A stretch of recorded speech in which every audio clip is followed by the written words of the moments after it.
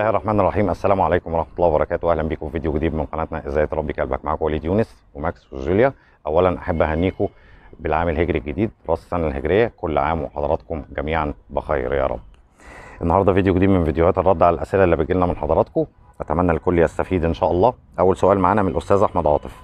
كابتن عندي سؤال.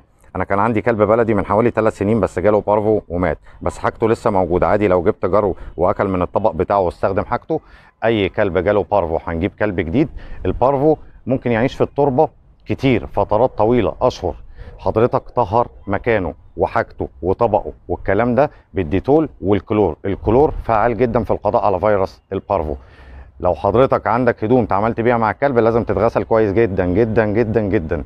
تمام؟ عندك كلب تاني وكلب عنده بارفو معلومة زيادة برضو. حضرتك تغير هدومك كويس بعد ما تطلع من الكلب اللي عنده فيروس وانت رايح للكلب التاني عشان ما تنقلوش. آه، المرض الحذاء الهدوم المعدات تغسل إيدك كويس جدا الحاجات دي قبل ما تتعامل مع كلب تاني سليم. بالنسبة لوضع حضرتك اغسل كل حاجة بالكلور والديتول كويس جدا. الأستاذ أحمد سمير صباح الفل صباح الفل عليك يا باشا. أنا لو اشتريت كلب جديد معدي السنة ومش واخد أي تطعيمات ينفع أروح أطعمه سعار وأرخصه؟ ولا لا؟ وأنا طلبت من حضرتك حلقة عن ترخيص الكلاب علشان نشجع الناس على المشاكل علشان المشاكل. الترخيص يا جماعة بيطلع مع رخصة السعار حضرتك يا إما تروح الوحدة البيطرية بتاعة الحكومة يا إما في أطباء بيطلعوها. بياخد صورة البطاقة بتاعة حضرتك بعد ما يدي مر... آه، تطعيم السعار يروح يطلع لحضرتك الرخصة. بتاخدها بعد أسبوعين ثلاثة أو شهر. تمام؟ لازم ترخصوا كلابكم عشان القانون بيتطبق يا جماعة وفي كلاب بتتسحب. تمام؟ لازم ترخص كلبك. الرخصة تبقى أضمن منين إن الرخصة دي بتاعت الكلب ده؟ تطعيم السعار بيتكتب فيه في الدفتر رقم البطاقة بتاعت حضرتك ورقم الرخصة المعدن مكتوب في الدفتر رقمها برضو. تمام؟ متفقين على كده؟ ينفع يا باشا حضرتك قعد الكلب عندك أسبوع تطمئن على صحته؟ عايز تطعمه بقى سوماني تطعمه سعار اللي حضرتك عايزه. الأستاذ أحمد عادل الغويط.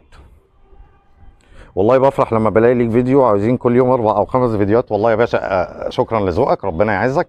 إحنا بننزل كل يومين فيديوهين تمام؟ آه ونفسي تقول اسم ابني في الفيديو. طبعا أنا مطلع الكومنت عشان أقول اسم ابن الأستاذ أحمد اسمه إياد أحمد. تحياتي ليك يا إياد وتحياتي ليك يا أستاذ أحمد ومنوريني وشكرا لمتابعتكم للقناة. الأستاذ أدهم إيهاب إيه اللي بيحصل في اسكندرية وليه الناس بتتسحب منها كلبها؟ وهل ده قانون على كل مكان؟ حتى في القاهرة لازم الكلب يمشي بالرخصة والكمامة. واضح يا باشا حضرتك ما راجعتش الفيديو بتاع السنة اللي فاتت والفيديو اللي عملناه من شهرين عن قانون تمشية الكلب. لازم الرخصة والكمامة ودفتر التطعيمات يكونوا مع حضرتك. إحنا نزلنا الفيديوهين دول السنة اللي فاتت ومن شهرين أو ثلاثة قبل ما القانون يتطبق. آخر فيديو اللي نزلته من شهرين ثلاثة قبل قرار تطبيق القانون بحوالي أسبوعين أو 10 أيام. لأن القانون ده كان موجود بس هو بدأ يتفعل وكويس إن هو بدأ يتفعل. نصيحة يا جماعة رخصوا كلابكم لما تنزل دفتر التطعيمات والرخصة.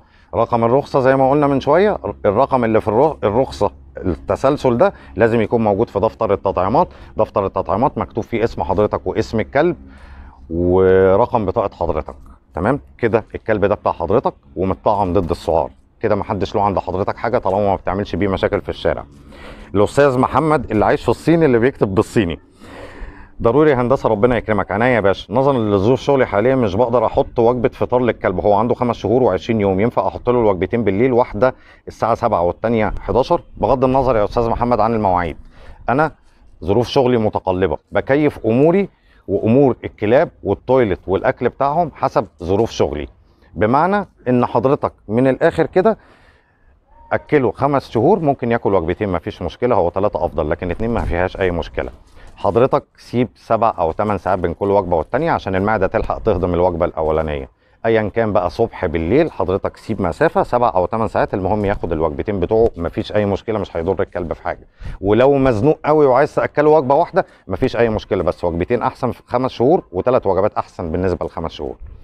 الاستاذ الأستاذ طه بن جازية. يا coach أنا متابع قديم منورني يا باشا. بعد إذنك كان عندي انتايه German black jack. أول بطن امبارح جابت سبع جراوي ما شاء الله لا قوة إلا بالله. وحبيت إني اساعدها في الرضاعة بالزبادي حضرتك بس هي رافضة إني اساعدها اطلاقا. وتكون تنشن جدا وتاخد الجراوي من إيدي بسرعة رغم إني مدربها طاعه كويس وتهبني كويس. مفهوم غلط يا جماعة إن كل كلبة لازم صاحب آه، صاحبها يقعد جنبها وقت الولادة. وإن صاحبها مسموح له ياخد الجراوي. أغلب النتايات كده. لكن في بعض النتايات بتخاف على جرائها كويس جدا. ما تزعجهاش وما تضغطش عليها وما تهتمش بالجراوي وما تحسسهاش إنك داخل عشان الجراوي. خلاص مش عايزاك تمسك الجراوي مش عايزاك تساعدها. عدي أول 10 أيام اللي هو سن الخطر بتاع الجراوي. عدي أول 10 أيام. بعد كده ابدأ ساعد معاها. تدخل حضرتك اقعد في هدوء واتحرك بالراحة وما تحسسهاش إنك مهتم بالجراوي خالص. مطلوب من حضرتك حاجة واحدة. تحط لها حاجتين تحط لها أكلها وشربها حلبة باللبن عشان ال- اللبن يزيد.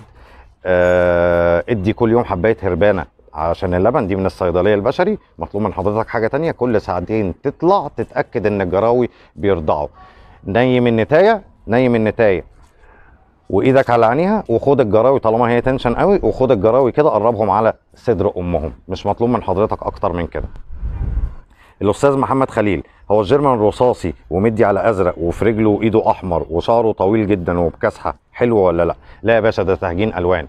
في جيرمان أزرق وفي جيرمان قلنا الألوان بتاعتها في الفيديو بتاع الجيرمان لكن التخليطة اللي بتقول لحضرتك عليه اللي حضرتك بتقول عليها دي كل لون لوحده لا ده مش موجود يا باشا ده متهجن كذا نوع مع بعض. طب ما إحنا قلنا السابل فيه بني وأحمر وأسود ومش عارف إيه. لا دي الكتلة الواحدة فيها النوعيات دي كلها من الشعر. يعني لو حضرتك مسكت سنتيمتر مربع هتلاقي في السبل أحمر وأزرق وبني وأسود ومش عارف إيه والكلام ده.